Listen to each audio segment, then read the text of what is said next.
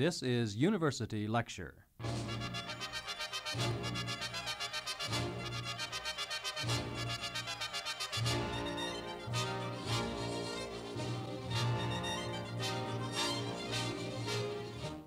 Welcome to another in a series of lectures given on the campus of Iowa State University in Ames. Today, Dr. William C. McCormack of the McFarland Clinic in Ames speaks on treatment of respiratory distress in the newborn.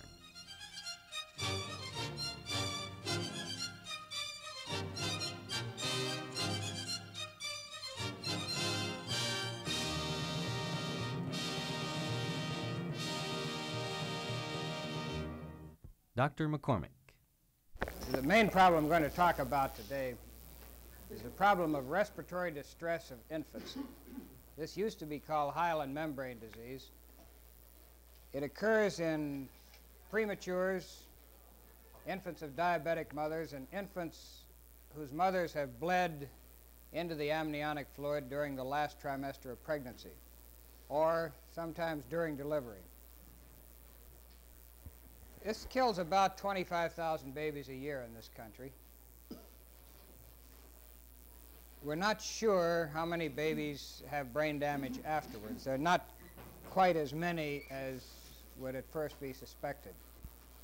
The babies are born with slight difficulty breathing. The difficulty increases over the next several hours. And then it's quite obvious that they have great difficulty breathing. They'll breathe at rates of 120 per minute, 100 to 120, the normal being about 40 per minute. The, when you and I have trouble breathing, we increase the depth of respiration. These babies are built in such a way that they cannot. Their bellies are too big and their chests are too small, and it's much more physiologically economic for them to increase the rate of respiration rather than the depth. They have difficulty doing this, however, because their ribs are elastic. They're still cartilage. And when they contract the diaphragm, the, di the diaphragm is a domed muscle, and when it contracts, the dome gets less conical, pulls down, but in the baby, instead of increasing the intrathoracic capacity, it just pulls the ribs in. The other difficulty is that it's very difficult to help these kids breathe. The pH of the baby's blood is absolutely dependent upon the amount of carbon dioxide in the blood at any given time, along with some other things, but that's one of the major variables. If you try to breathe for a baby, his pH control is so sensitive that if you breathe a little bit slow for him and the carbon dioxide builds up, his blood becomes more acid and he's uncomfortable. If you breathe a little bit too rapidly, it becomes less acid. He's uncomfortable. So rather than accept your rate of respiration for him, he'll quit. He may not quit forever, but he quits long enough so that uh, this is not a good way to breathe for babies unless you want to overwhelm his own protective mechanisms and breathe for him whether he likes it or not. We have the force to do it. The two fingers on a anesthesia bag is enough to break down a baby's resistance. But then you have to monitor the baby's blood so carefully to make sure that his acidity doesn't change, because if it does, his enzymes don't work, and if his enzymes don't work, he dies. You have to monitor it so carefully, uh, monitor it so carefully that it's, it's a real major procedure. Any pediatric resident has seen these babies deteriorate under his fingertips. This was a real problem when I was going to school because no one knew what to do for them. You threw them into the uh, incubator and you gave them oxygen. You didn't dare give them too much for, fear of blinding them. And if uh, you gave them antibiotics, in hopes they were infected and you had some, you could do something. And digitalis, if you happened to be using it that year. It, re it really was a frustrating thing. If these babies lived, they were normal. And if they could make it for the first two days, first 48 hours, then they almost always lived. The disease was gone in five or six days, and they were perfectly normal children. But they just couldn't last. They wore out. And when we started this work, the physiologists of the world had decided primarily what was wrong with these babies, what should be done for them. Everyone had tried breathing for them. But at 120 a minute, that's, that's quite an order. You don't mouth them out that fast, and you can't tilt them up and down that fast. The, the bellies are too big, and the intestines don't move enough to pull any air into the chest anyway. The big problem was how to breathe for the baby. It was thought that if you could breathe for him, you could make it. With physiologic determinations, we found that the main thing wrong was that the lungs were stiff. They would not expand with the normal amount of effort. So really all we had to do was breathe for the babies and they'd make it.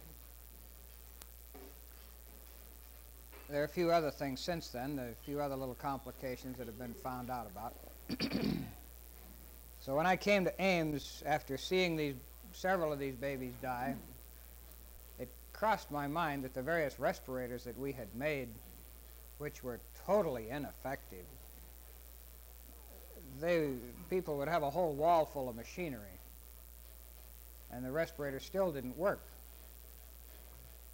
But generally, the respirators had been built by physicians, and this was the initial mistake. We thought if we could get a respirator builder to build one, it might be better. I contacted, I think the first chap uh, came over a sore ear one night, and he was a, you have time to talk at night, and we, we got to discussing the problem. He brought around one of his graduate students, and we talked about the respirators that had been built and the problem. Now, the, the problem in building a respirator for these little fellows, as I told the graduate student that night, you have to breathe for these babies only when they want to breathe. They breathe irregularly at 120 a minute. So you have to sense when the baby's going to breathe in and have the respirator establish positive pressure on the lung within 15 to 20 milliseconds after the baby starts breathing in. And this has to be done regularly at rates of roughly 120 per minute, but it has to be, you have to monitor each individual breath. Because if the baby wants to breathe irregularly, he has to be able to do this. Secondly, there can be no, um, no extra dead space in the machine. A dead space, if we have a, a mask over your nose and mouth, and let's say the mask has 75 cc's of air in it, then that 75 cc's contains the last air that you breathe out, and that's the first air you breathe in. That's dead space. You see what I mean by that? Now, you and I breathe in about a pint of air each breath, about 500 cc's. The women a little less, not much. The baby's total breath this size baby, his total inspiratory volume is 5 cc's. This is a teaspoonful of air that he's moving back and forth. So the machine cannot have that much dead space. It has to be constructed so that when the baby breathes out, he breathes out to the air and gets in a fresh 5 cc's, a fresh teaspoonful of air each breath he has the, the mechanics of the machine have to be such that he has less than um, a millimeter of water inspiratory effort and less than a millimeter of water expiratory effort, or he builds up carbon dioxide. He's not strong enough to get that much. And he's not, if, if you have to push out and breathe out against effort, then we build up carbon dioxide in the blood with an increase in acidity. Of course, the machine, besides that, it has to be almost idiot-proof. I remember when I was I remember when I was in, in medical school, we had a, a great biochemist from England, and I happened to be introducing him. And the dean of the medical school told him in all seriousness, as he came out for his introduction, says, Please, doctor, keep it simple. Remember, you're talking to physicians. These, this is quite true. These machines have to be almost idiot proof. You're not only dealing with physicians who know nothing about them, they have to be very simple in their control. And they have to be arranged such that if the nurse kicks the plug out in the middle of the night, or the doctor happens to stumble over it, that the baby's respiratory tract isn't totally obstructed by being attached to the machine. They also have to deliver a, a constant volume because the stiffness in these babies' lungs increases as the disease goes on and decreases as the disease wanes. So if you set up a respirator to give air up to a certain pressure, he won't get enough when he's real sick, and you're liable to blow out a lung as he gets better. They have to deliver a constant volume at any necessary pressure up to some given safety point. And it has to be at a rate that we established, we had to establish at about 100 to 150, well, it worked out best at about 120 cc's per second. And we didn't know when we started when the baby wanted this air, whether he wanted it at the beginning of inspiration, at the end of inspiration, whether he wanted half of it at, when the respiration was half over, and the rest when the inspiration was in its second half. Had no idea when he wanted it. We didn't even have very good idea about the infant's respiratory curve, his inspiratory curve when he was sick. Normals we knew. And I didn't know how to get it, except by going to the library, and they didn't have it. So uh, Dave Carlson, who was the graduate student, now Dr. Carlson over in the bioengineering department, said, well, I, could you uh, let me see a few babies sometime. Maybe I could work it out. I said, yes, come on up to the nursery anytime. And he came up and worked with several well babies and a sick baby. And while he was working with the well babies, he had a whole staff with him, about six people and some gear. And they went in and washed their hands and, and uh, crowded around the baby. I asked him what he was doing. We knew each other pretty well by then. And he said, well, Bill, I don't think you'd understand it. And he worked for about 10 minutes and went away. I didn't hear from him for upwards of three months. And then he called me and said, I uh, think your machine is ready. We'd like to try it out. I'd also, uh, along with the simplicity, this thing had to be kept down to a reasonable size because the pres- at that time the best method of treatment was to find the mother who was liable to deliver one of these babies and send her into a center where she could be cared for with her baby. But these are mostly premature babies, and premature babies come rather unexpectedly. A, a couple of yelps and a telephone call, and they're there. and they, you don't have time to send them anywhere. And they're there in the little hospital, and what we tried to set up was some something that could be used by the non-specialist pediatrician in any little hospital. This was the original goal. So it couldn't be too big and it couldn't be too expensive. But Dave had a box about this big. And it worked. We started going through rabbits. He'd gotten the materials mostly from Scrounge and uh, sort of a daylight moonlight requisition where he'd go to his professor and say, I need such and such, and somewhere he'd find it. And I must say we had nothing but cooperation from the university and the electrical engineering department. It, it must have been disturbing to come up and find a half-dead rabbit clicking away in your office when you, the night before you left the door locked. we had, for a year or so, we worked on rabbits. Dave and I worked very well together. the one problem we couldn't figure out was how to attach this thing to the baby. Because a tracheotomy in a premature baby is essentially a death sentence.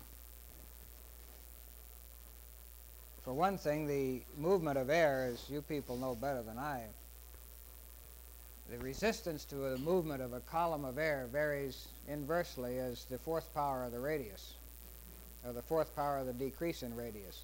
So when you put even a thin wall tube into a trachea, you decrease the diameter of that trachea enough so that the resistance to expiration becomes a significant factor. Secondly, the babies always bleed and leak around those tubes and obstruct, and it, you can't get the tube out and in fast enough. Thirdly, we find that with these babies, if the tube moves down a quarter of an inch, such as the baby nodding his head, why it obstructs one of the lungs. Anyone who's ever taken care of a tracheotomy in a baby just shudders at the thought. So we didn't want to do that. I happen to know from somewhere that babies breathe through their noses preferentially. They don't like to breathe through their mouths. If their noses are plugged up anatomically, they probably will live, but they may die because their respiratory efforts are not great. And they may not think about all these things at the time they need to. So that it's not unheard of for a baby with a nasal obstruction to die because he won't open his mouth. We thought we could use this, and to make a long story short, my backdoor neighbor, Ben Buck, a dental technologist, made us a mask, one of which you saw there, that fit over the baby's nose. What he did was come up at night and put a little plastic sleeve over the baby's nose and pour it. We put a couple of drinking straws about this long into his nostrils and then poured this Jeltrate into it, the stuff they use to make an impression on your cavity. Then he'd take it down to the lab, pour up a nose out of it, then make a mask over the nose, incorporate a couple of tubes into it, and an hour later he'd be back up in the hospital. And we'd take some colostomy cement, put it around the inside, and paste it on the baby. And the only dead space we had then was right here. The only mask we could get for a mouth and nose of a baby had 5 cc's of dead space. That was all he breathed. It was total lung volume in the mask. So he'd breathe out, he'd get the same breath back and forth. The way Ben fixed it up, Ben Buck, was that we got down to three tenths of a cc of dead space, just where we had to cut out the mask to join the nostrils. Then we'd paste it on the baby. We could push air into that up to 30 centimeters of water pressure if we held his chin shut. We could get up to 18 centimeters without even holding his chin. His lips would resist that much. And it's not unusual now to, with a sick baby to see the nurse sitting there with her finger on the baby's chin so that the air won't pop out the mouth. We started working with this. The one thing that we didn't know how to do was to get a an accurate estimate of how to set the respirator, how much volume to put in. We thought uh, really it was it was hard to find out, so we thought we'd figure out with each individual baby how to do this. We got one of these evening dress uh, covers, plastic covers that your clothes come home in. Seal the bottom of it, put a one-way valve on this mask, put the mask on a baby. We had a three-pounder up there. And hook the other into this bag. We figured 100 breaths. We could catch 100 breaths and then average them because most spirometers had so much resistance that the, they were worthless in, in the babies. And we asked the baby's father. He said it was all right. So we hooked this up to the bag and the kid did very well for about 10 breaths, and he sneezed.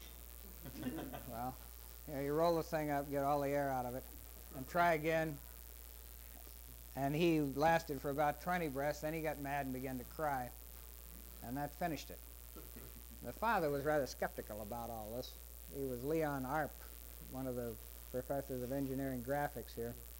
He asked us what we were trying to do. and uh, about two weeks later, he came around with a big box with some insides to it. And you could hook this onto the mask, and without resistance, it would measure the baby's next full breath after you push the button. Not a half breath. They wouldn't settle for that. It, without any resistance at all, it'd measure the baby's next full breath and read it out on a little meter. This was great. so we had a fourth member of the team. The next member came along when we, um, Dean Town asked the engineering department to have some station breaks to publicize the department on WOI. But they asked us to come over for a five-minute station break, and we did and described the work with the rabbits. And the, produce, the producer there, Red Varnum, said, uh, I'm Red Varnum, I'd like to do a documentary on this. I said, sorry, we don't have any documentary to do. I said, haven't done anything yet. We're going to use this on babies. He said, well, how are you going to keep records? How, how, how are you going to know?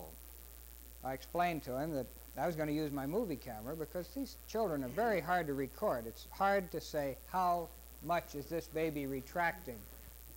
How sick was he? And in working with the respirator, we thought we might like to go back and see the babies again when they were sick, so I decided to take movies of them. He said, how are you going to take them? I said, well, I've got my little 8 millimeter uh, wind up, and I think I can do all right. A funny look went over his face. He said, why don't you call me and I'll take the movies? No obligation involved. So we did. We called him with the first baby we had. the first one, of course, was a premature that was nearly dead. He really didn't have hyaline membrane disease. He was six days old, and he had, uh, by that time, his respiratory system was so inefficient that it had he really had no brain left. He was having periods of apnea lasting 10 minutes about every 30 minutes. And he was almost dead because we really didn't dare take any other kind of baby to try a new machine on. You didn't want to take some brand new baby and put the machine on and have him die. So we put the machine on this little fella. And he didn't have any more periods of apnea for another 24 hours when his brain finally began to fall apart. It would not function anymore. But all of the things that we thought were going to happen didn't happen. It worked. Since that time, we've had, oh, probably approaching 50 babies on it, 40 or 50. First thing we found out was that these babies that are the ones that were going to die in 48 hours don't. Those were the ones that were too sick to make it by themselves. But if you put a respirator on them, they last on and on and on and on. We've had kids on this for, well, I think the longest one was 120 hours. He, we did two exchange transfusions while he was on him, while he was on the respirator.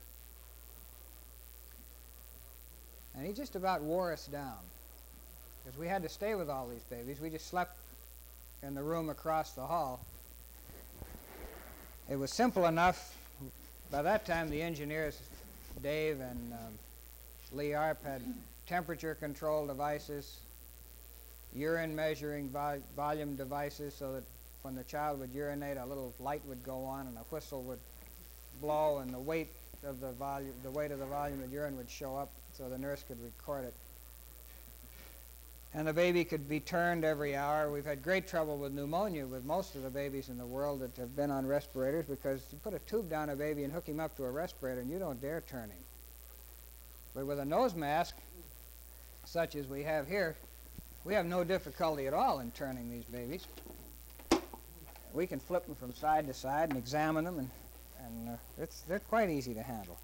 But there have been some some peculiar times. Most of the special nurses were women who were married, had children. They weren't working in the hospital, but they were willing to come in for a little while. We'd train them on the spot. Had one very uh, very good nurse. She came on at midnight. I came in, oh, about 10 minutes later. She's standing there with a shocked expression on her face. Of course, all these gadgets going around, no pocket to pocket to pocket, and the, the baby almost covered up in these various gear we had him had in him and tubes coming out of him. But she had a little bit more shocked expression than usual. She was a smart girl, a confident person. I said, what's the trouble? She said, you know Bozo the clown? I said, yeah. She says, he just came in here in a scrub suit and listened to the baby and went over and adjusted the respirator and left. this was Red Varnum.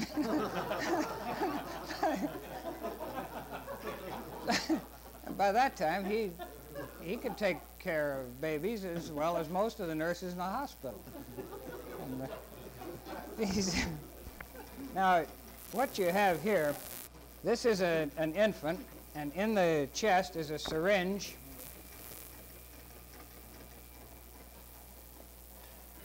The respirator is working.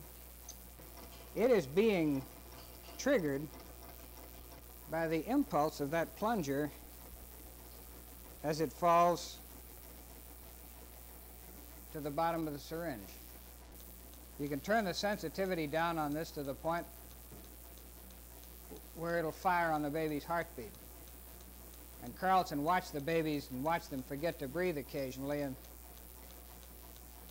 he built in a memory so that if the baby doesn't breathe for about 15 seconds, it'll blow a whistle, breathe for the baby at a preset rate, and wait, see if the baby's going to breathe. If it, and if it does, go back to breathing for him, breath for breath. If it doesn't, it'll breathe for him again and blow another whistle. The college has the patents on this machine. They licensed them to Bourns Incorporated, and Bourns now has so probably 150 out uh, in various parts of the world. They worked fine. One of them worked for six weeks steady on one baby in New York without missing a stroke. Then Red Varnum and Lee Arp were thinking one night about various things about 3 o'clock in the morning. And Red came up with another idea, which Lee incorporated. Now that has been developed and licensed to a different company, Ohio Chemical, and that respirator is coming out pretty soon. So there are two, res- two infant respirators that came out of the same little five group of people that really had no business getting together in the first place. But these, these five guys, we, went the, we were invited down to an anesthesia meeting, the American Society of Anesthesiologists in Florida, for a scientific exhibit. The anesthesiologists would come around and start asking questions. They'd ask about the, the compliance of the lung and how we measured the compliance of the lung and the various methods that why, why we like that over some other method and the the characteristics of the flow through the nose mask. And then they'd say, well, now, what do you think of acetylcholine in these babies? Do you use it? Well, I don't know anything about that. You'll have to ask Dr. McCormack. Said, Who are you? Said, well, I'm producer director of WI Television.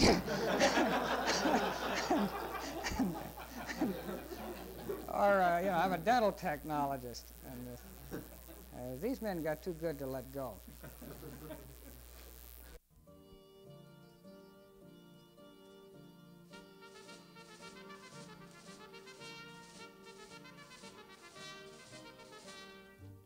You have been listening to another in a series of lectures given on the campus of Iowa State University in Ames.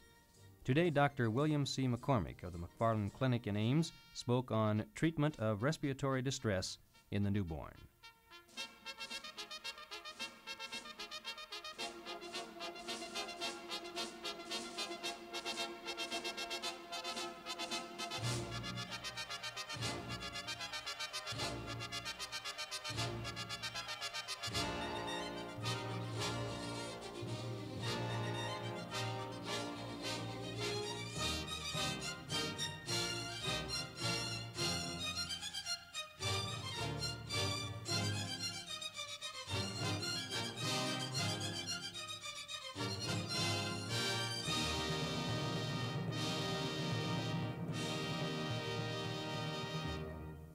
University Lecture is a presentation of Iowa State University Radio.